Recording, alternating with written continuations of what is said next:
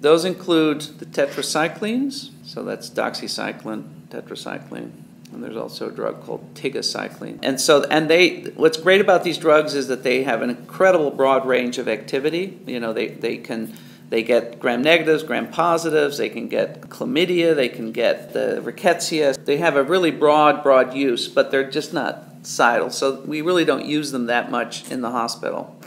The second class of drugs that's toxic that also is very useful because it's very good for the atypical are the macrolides.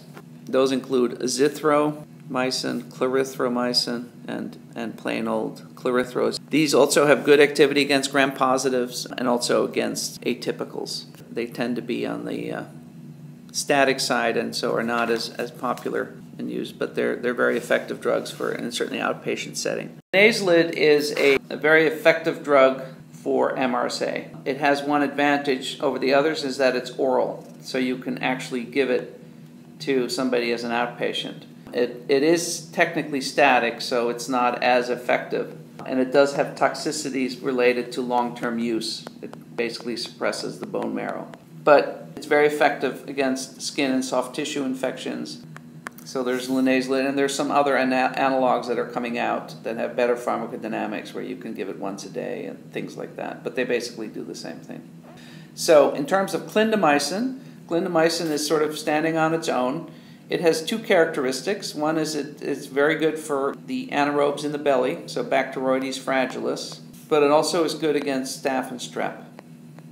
So it could be used in somebody who's penicillin allergic or um, including community acquired MRSA. So if you have somebody who has community acquired MRSA, they can't take sulfa, then Clinda is an option. A person comes in with classic pneumonia symptoms, which would be chest pain, cough, productive, and they're pretty ill with pneumonia. You do a chest x ray, and there's an infiltrate. So then you want to decide a couple of things very quickly what you want to know about this person. You want to know from a host perspective, have they been in the hospital recently? Do they come from a healthcare facility, or are they just coming in off the street and are otherwise healthy and have no underlying conditions? So, if this person has not been in a healthcare facility, the organisms, uh, this, so we already defined the syndrome, and the pathogens we have to think about are strep pneumoniae, Klebsiella, and if it's in the flu season, you also have to think of Staph aureus, because Staph aureus can be an opportunist after a severe upper respiratory viral infection, most commonly flu. And finally, you have to think about Legionella. The other atypicals, Mycoplasma and Chlamydia, would be covered anyhow by the drug you're going to use for Legionella, but they tend to be much milder as clinical presentations. So to cover strep pneumo and to cover the other organisms, the antibiotic choices are really quite extensive. You want to know if they're penallergic or not. So if they don't have an allergy, you're going to want to have a beta-lactam. And uh, ceftriaxone would be an excellent choice. It gets into the lungs very well. It covers strep pneumo very well.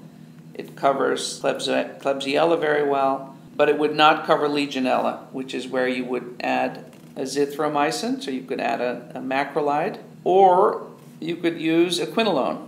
Moxifloxacin or levofloxacin would cover both the Legionella as well as the strep pneumo and the Klebsiella pneumonia. So someone who's penicillin allergic, moxi or levofloxacin would be a good choice. What are we leaving out? Because that's always a good thing to think about.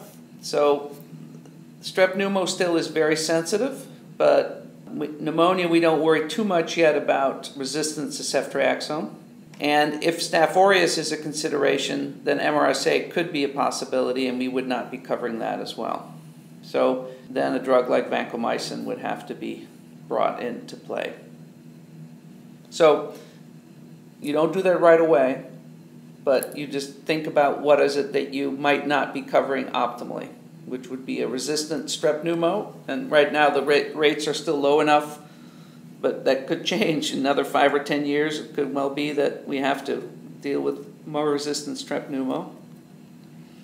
And the Staph aureus really would be related to the winter, you know, and flu epidemics. Now, if on the other hand, this person says they, they've been re- rehabilitating in a nursing home with, uh, for a broken hip, We then have to be concerned about nosocomial bacterial infections, and that's where Staph aureus and particularly MRSA rises to the top, as well as a whole range of gram negatives, the Enterobacteriaceae, Pseudomonas, and more importantly, gram highly resistant gram negatives in those two categories. So then your choice of antibiotics is completely different. You don't worry about Legionella in that setting, but you do want to cover MRSA, so you start with Vanco.